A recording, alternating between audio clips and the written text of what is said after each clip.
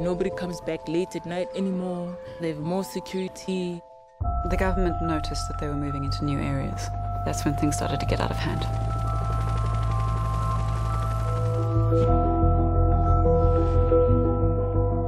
They don't belong here. They're spending so much money to keep them here when they could be spending it on other things. At least they're keeping them separate from us.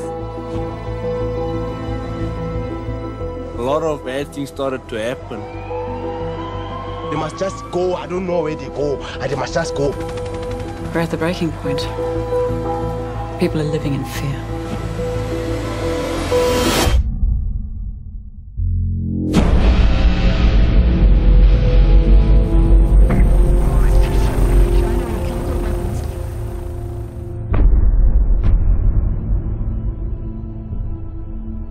Why are you here?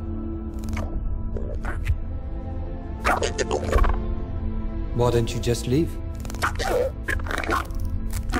How do your weapons work?